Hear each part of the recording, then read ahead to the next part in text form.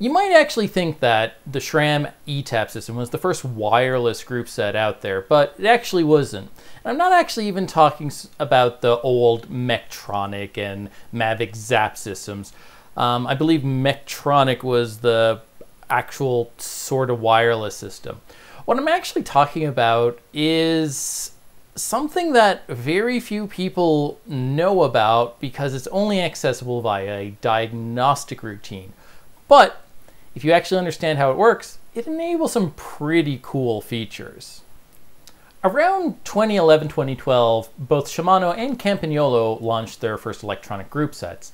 And well, Shimano iterated very quickly to develop their E-Tube system for the 6700 series after the 7900 Dura Ace 5 pin, 6 pin complicated debacle, which had frankly terrible reliability and you know, their rear derailleurs were, were retrofit from 9000 for warranty support.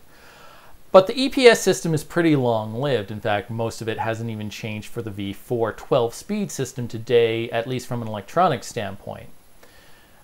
But in 2015, they launched something that was kind of revolutionary at the time.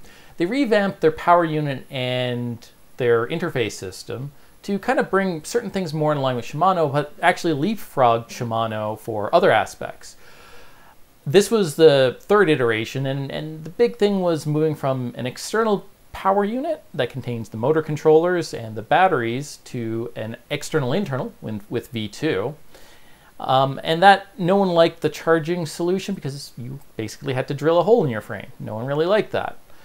And then it went to the V3, and V3 moved the charging system, or at least the port, into the interface. But they did something else when they did that, something that none of the OE bikes with Di2 actually has, is it brought the wireless into the interface.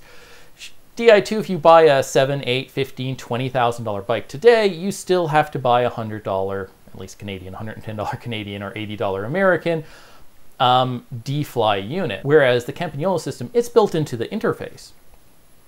And that, in 2015, was pretty advanced. The, the interface has uh, basically a BLE and an ANT Plus system working simultaneously. So the BLE is generally used for configuration, ANT Plus is a shifting profile, but it's only an information profile, don't get excited. Shimano has this too. You can't tell the unit to shift through the ANT Plus system. The BLE system, there's not even a standard. Everyone just makes up what they're doing. So both Shimano and Campagnolo both have connectivity, but if you've ever used any of their apps, you'll notice that there's some diagnostics available in them. Whenever you develop anything in the electronic realm, a lot of times you, you want to build in debug stuff, stuff that's not generally consumer facing, but stuff that enables you to either test during manufacture or debug on a sometimes customer level. Um, some this is usually one of the very, very first tactics when a, a return, a warranty comes in and it hits an engineer. They will go through and use some debugging tools on the existing hardware, and they can usually figure out a lot of things pretty quickly. And that's because built in functionality for testing, uh, things that you don't want the consumer messing with. Well, luckily, because of the way BLE is written, you're supposed to enumerate all of your services.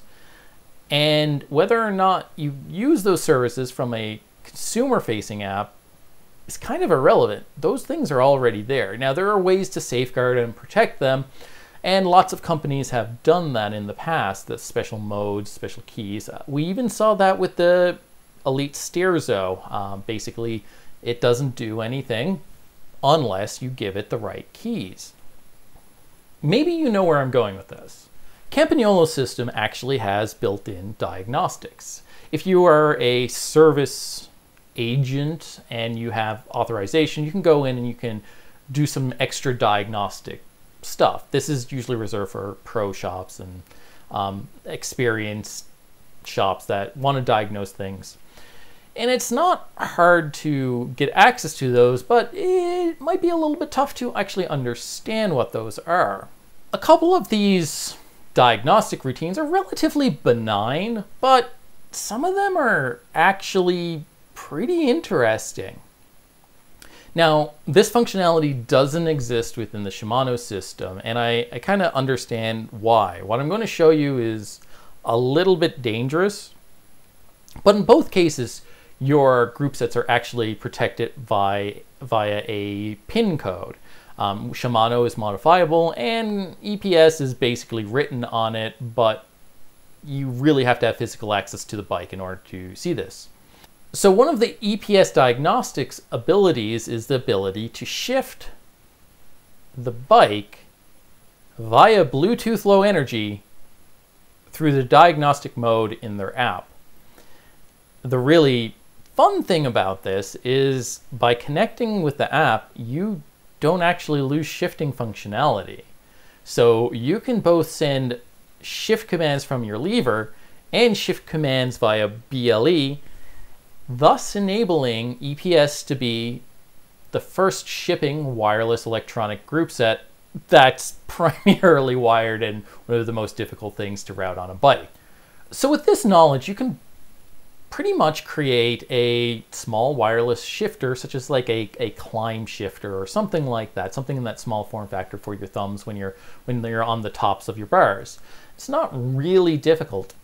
I haven't done it here because I've struggled a little bit with figuring out how to do peering with BLE with the Nordic dev kit stuff, but that's more of a me limitation and I'm not an expert Bluetooth developer. In fact, the, the Sterzo platform, most of that initial code was written by Andy and I just popped in a, a few extra little pieces and changed a few things and ported it to a newer SDK he did a lot of the heavy lift on that. So like this, very possible, very easy to do. You can build a climb or remote shifters that would enable you to remotely shift with your EPS system. The only thing you can't do is you can't connect it to the MyCampy app while riding because there's only one BLE connection and you're using it. So with that, let me show you how to enable remote shifting with an EPS system. So as you can see, I have to hold that back here, we're connected to the EPS system. So we're synchronized here. And get it, go back.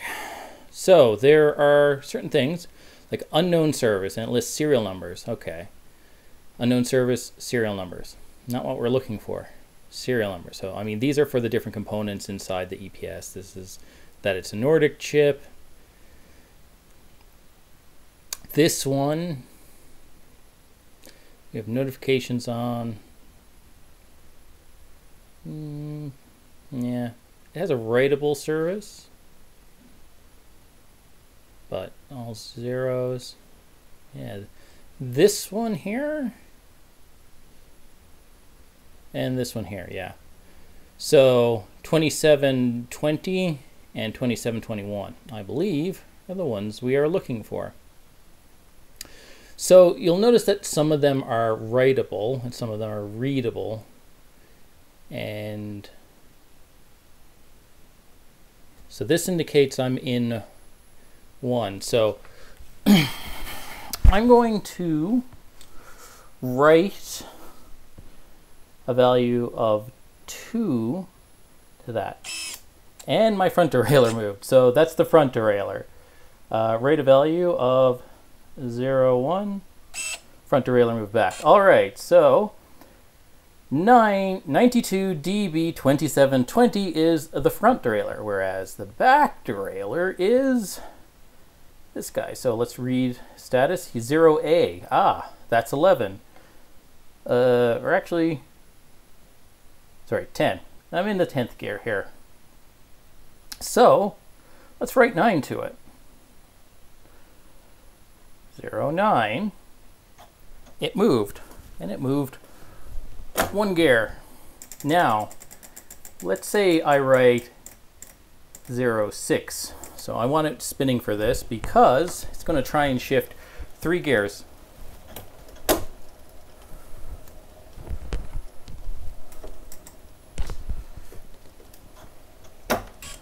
So that was kind of a bit of a, a deke out. Um,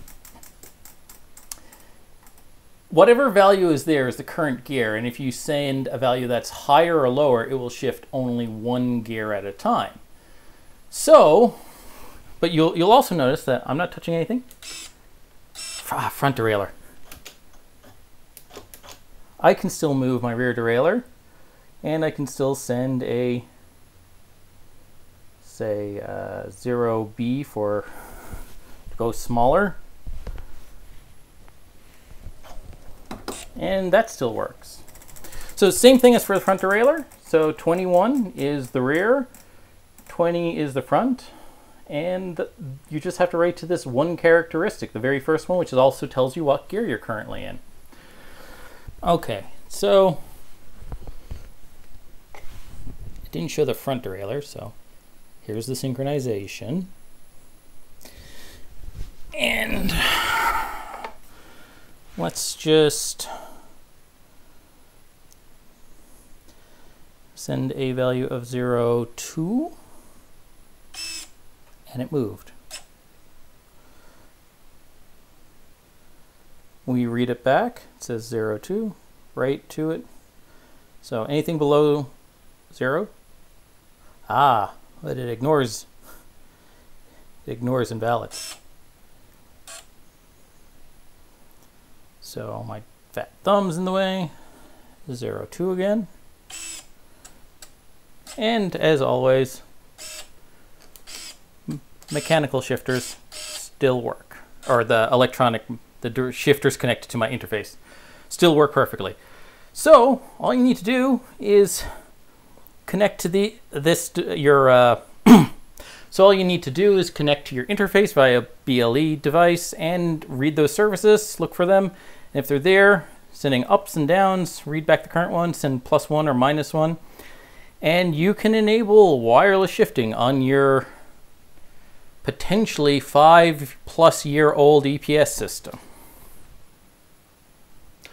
Hopefully you found that interesting maybe someday I'll get around to actually trying to build a project, an open source project or, or something off of this in the future. Um, with the way EPS is generally set up, yeah, the only real thing you can probably add are climb buttons. But for a TT setup where you have to buy a special interface, it may, might actually make a little bit of sense to integrate that. Um, you can tuck your EPS receiver somewhere nice and tidy and just use some coin cell operated batteries on your bars and at your brakes. Um, but there's issues with doing any more than a single unit. You have to then build your own communication protocol to talk between them. So it has some limited functionality, some limited use, and generally it is a diagnostics tool to ensure that your EPS system is functioning and it's not just your shifters are dead or disconnected or, or broken or something if you found that useful and you want to kind of keep following and support the journey as I develop and launch um, different products, and we we are getting very close. Uh, we're we're months away from the shipping and announcement of our latest project. Some interesting guesses from the Maelstrom video. So some are close, or at least they cover a part of what this thing does. Some of them are a little bit off base, so stay tuned for that in the future. And uh, thank you.